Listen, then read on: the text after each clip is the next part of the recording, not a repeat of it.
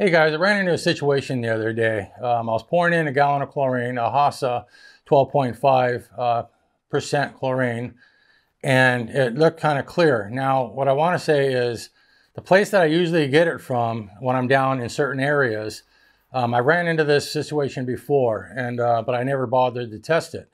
So what I did this time is I tested the bottle of chlorine because I wanted to find out, well, how strong is this chlorine? Are they like watering it down? Are they taking Hasa's chlorine and, and watering it down so they can make more money? Um, who knows? But it's like, uh, yeah, yeah, it's like, who knows? But let's just, um, let's test Hasa's. I got Hasa's chlorine right here. This is what it should look like coming out of the bottle. See how yellow that is? That is good quality chlorine right there. And, uh, and that's what Hasa produces, good quality chlorine.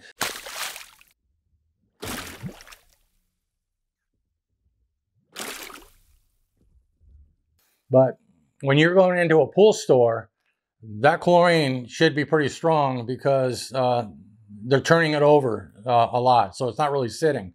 So, okay, now what we're going to do here is now this bottle of chlorine right here should read, this is 12.5% chlorine. So in 10,000 gallons, this bottle should read 12.5% chlorine in, in, uh, in the pool.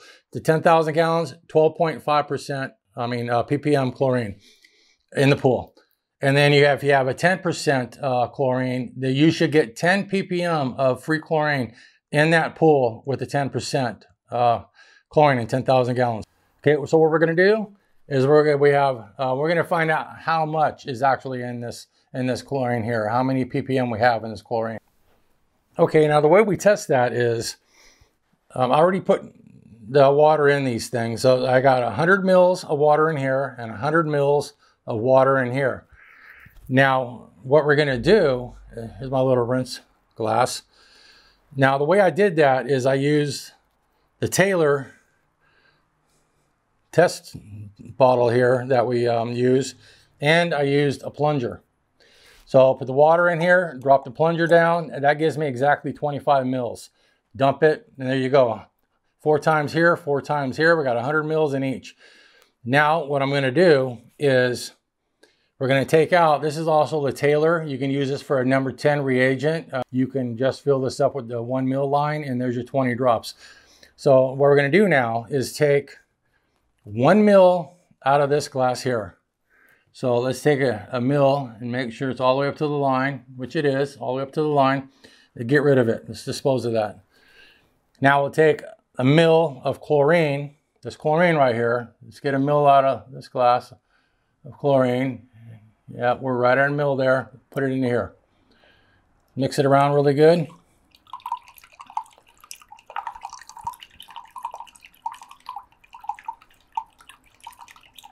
Okay, now let's just rinse this out so we don't get any like contamination or anything going on in there. Let's just uh, make sure we're nice and clean. Okay, now what we're going to do is take a mill out of this glass. There's our mill, Dispose of it. And then take a mill out of the glass that we have chlorine in. A little bit more. Okay, that's a mill, And put it in to the other glass.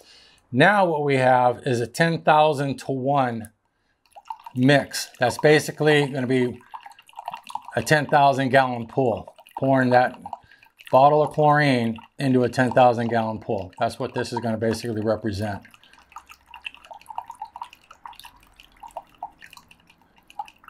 Okay. Okay, now what we're going to do is, is test it. And what we're going to do is go down to the 10 mil mark so we can get a, a closer reading on our chlorine and we'll use the flat side in there. So let's put this right here. Put that bottle in there. Put that little, not bottle, but little tester in there. And let's go down to 10 mil. We're going to use the flat side. Go down to the 10 mil. And then just pull this out. Now we have 10 mils of water. Now you have to use the DPD FAS test on this for chlorine because this is going to give you the, the most accurate test possible. They give you exactly how much is in there. Put in two scoops. Doesn't really matter how really big they are or whatever. Just like two scoops. You've got one big scoop, I guess, but okay. You can tell right there that's pretty high chlorine. So, and then we'll use the R0871 reagent and we'll test it here. Okay. One, two, three, four, five, six, seven, eight, nine, ten. 11, 12, 13, 14, 15, 16, 17, 18, 19, 20, 21, 22, 23, 24, 25, 26, 27, 28, 29, 30, 31, 32, getting there, 33, 34, 35, yeah, it's about 35. All right, 35. So 35 drops. Now at a 10 mil marker, we go down to a 0.5. So we'll take our 35 drops times 0.5. That gives us a 17.5 ppm of chlorine.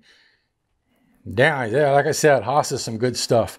Um, this must be a really fresh bottle of chlorine right here because um, 12.5 is, is, you know, what you really should be getting. But um, that's really good stuff. That's 17. So what that is going to tell me now in a 10,000 gallon pool, I am going to get 17 ppm of chlorine in that in that pool if I dump it in there. Okay. Now as you can see, we had 17.5 ppm of uh, chlorine. So in that the bottle now, this totally fresh bottle, awesome by Hasa, um, I am getting in a 10,000 gallon pool 17.5 ppm of chlorine when I pour it in that pool, and that's that's great. Um, so obviously you don't you, obviously you don't want that much, but it's good to know that um, what you're getting, what you're paying for, 12 you're paying for 12 and a half percent. I got 17, so I got a little bit more than uh, what I bargained for here.